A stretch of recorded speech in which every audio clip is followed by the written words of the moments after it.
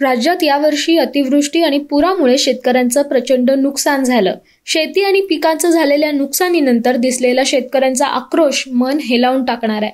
शेतकऱ्यांनी राज्य सरकारकडे मदतीची विनंती केली आहे. अखेर त्यांची ही विनंती राज्य सरकारने स्वीकारली आहे. शेतकऱ्यांच्या मदतीबाबत राज्य मंत्रिमंडळाच्या बैठकीत दोनच दिवसांपूर्वी एक महत्त्वपूर्ण निर्णय घेण्यात आला. अतिवृष्टी आणि पूरग्रस्त बाधित शेतकऱ्यांसाठी राज्य सरकारने दहा हजार कोटींचं पॅकेज जाहीर केलंय. अतिवृष्टी आणि पूरग्रस्तांसाठी दहा हजार कोटींचं अर्थसहाय्य केलं जाणार असल्याची घोषणा मुख्यमंत्री उद्धव ठाकरे उपमुख्यमंत्री अजित पवार आणि सार्वजनिक बांधकाम मंत्री अशोक चव्हाण यांनी मंत्रिमंडळ बैठकीत केली आहे. एनडीआरएफच्या निकषांची वाट न पाहता दहा हजार कोटींचे अर्थसहाय्य जाहीर करण्याचा निर्णय आज आपण घेतलाय असं मुख्यमंत्र्यांनी घोषित केलं. दरम्यान ठाकरे सरकारच्या या निर्णयाबाबत शेतकरी समाधानी आहेत का? ही मदत पुरेशी आहे का? हे सगळं जाणून घेण्यासाठी थेट शेतकऱ्यांसोबत बोलून याचा आढावा घेतलाय आमचे प्रतिनिधी उदय साबळे यांनी. खरीप हंगाम दोन हजार एकवीससाठी पूरग्रस्त शेतकऱ्यांसाठी महाराष्ट्र सरकारने दहा हजार कोटी रुपयांचं पॅकेज जाहीर केलंय.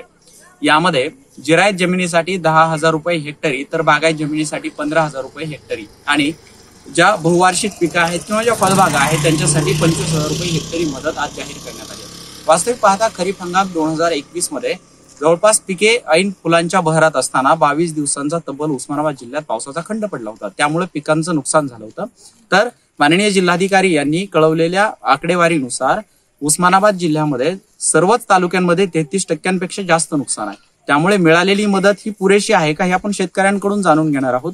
काय सांगाल की सरकारने जी मदत जाहीर केली आहे ती पुरेशी आहे का? अजिबात पुरेशी नाही. सरकारने जिरायतीला पंधरा वीस हजार रुपये दिलं तरी शेतकऱ्याचं साधं त्या रानातलं तण निघणार नाही. आणि पावसाच्या अभावामुळं अगोदर तर पिकं करपली पुन्हा एकूण तिकून आला तर पाऊस काय थांबायला तयार नाही जमिनी खरडून गेल्यात. पिकाचं तर काढ बी काढाय ना बाहेर वावरातच शिराया नाही. आणि विमा कंपन्याचं बी काय अजून काय इकडं कुणी प्रतिनिधी या नाही. ती बहात्तर तास का काय त्याच्यात आधी ऑनलाईन करा ती बी केलंय. विमा भरलाय. सरकारचं कुणी पंचनाम्याला नाही अजून सरकारचं पंचनाम्याला अं, येते पण विमा कंपनी बी त्यांच्या सगळ्या येणार तक्रारी करून झालंय. आणि एवढ्या दिलेल्या शासनाच्या एवढ्या रकमेत शेतकऱ्याचं तणच निघत नाही वावरातलं. रानं दुरुस्त करायची जमीन वाहून गेल्या हे दुरुस्त करायचं ह्याचं लांबच राहू द्या. एवढंच माझं म्हणणं आहे. सरकारने वाढवून द्यावात. काय सांगाल की सरकारने एकरी जिरायत जमिनीसाठी चार हजार रुपयांची मदतीची घोषणा केली आहे. तण काढाय सुद्धा ते चार हजार रुपये पा- पुरत नाही ते. आणि बाकीचा खर्च तर खत बी बियाणं त्यासाठी तर हीच आहे पुन्हा परत काय सांगाल काय वाटतं सरकारच्या मदतीने समाधानी आहेत? नाही. कारण का उडदापासून पाहायला गेलं तर उडदाच्या टायमिंगला जे खंडित राहिलं पाऊस पडला नाही त्यावेळेस उडदाचं नुकसान झालं. फुल फुलं गळाले. आणि जे परिपक्व व्हायचं होतं पीक ते परिपक्व झालं नाही. आणि काढणीच्या टायमाला पावसाने लावून धरल्यामुळं अं, उडदाचं नुकसान झालं. विषय दुसरा आता आहे जे सरकारने जी सोयाबीनचा आज मदतीची घोषणा केली आहे त्यानं तुम्ही समाधानी आहेत का? नाही. काय वाटतं चार हजार रुपये एकरी जिरायत जमिनीसाठी मदत घोषणा केली आहे किंवा दहा हजार रुपये हेक्टरी आणि अं, बागायत जमिनीसाठी पंधरा हजार रुपये हेक्टरी. समाधानी आहेत तुम्ही?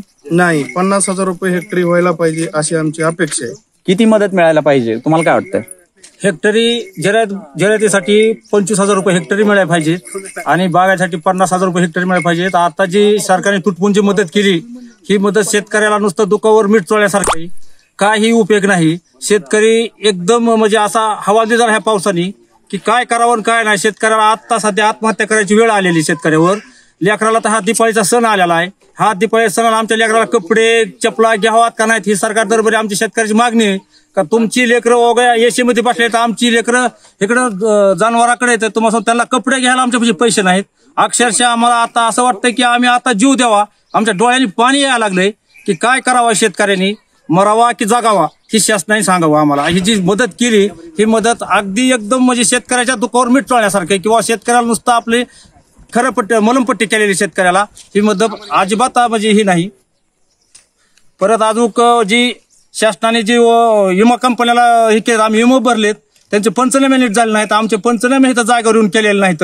नुसतं जागेवर अ, तलाट्याने ह्यांनी नुसते हिथून पंचनामे मागले ऑलरेडी शेतकऱ्याच्या बांधावर येऊन पंचनामा झालेलाच नाही. पण चार हजार रुपये एकरी खर्च हा शेतकऱ्यांचा शेतीच्या मशागतीचा खर्च त्यापेक्षा जास्त आहे. कारण पेरणीचा खर्च असेल किंवा इतर खर्च असेल त्यामुळे निश्चितच शेतकरी या मदतीवर समाधानी नसल्याचं सध्या तरी चित्र आहे. कॅमेरा पर्सन आशिष सह मी Uday Sabale H W news तर आपण पाहिलं की शेतकऱ्यांच्या नेमक्या भावना काय आहेत. सरकारने केलेल्या आर्थिक मदतीच्या घोषणेवर ते समाधानी नाहीत हे स्पष्टपणे दिसून येत आहे. त्यामुळे एवढ्या मोठ्या संकटानंतरही सरकार शेतकऱ्यांना गांभीर्याने घेत नाहीये का? शेतकऱ्यांच्या बाबत सरकारमध्ये वारंवार संवेदनशीलतेचा अभाव दिसतोय का? याबाबत तुमचं मत काय ते आम्हाला कमेंट बॉक्समध्ये नक्की कळवा. आणि असे व्हिडिओ पाहण्यासाठी एच डब्ल्यू न्यूज मराठीच्या युट्यूब चॅनलला सबस्क्राईब करा फेसबुकवर आम्हाला फॉलो आणि लाईक करायला विसरू नका.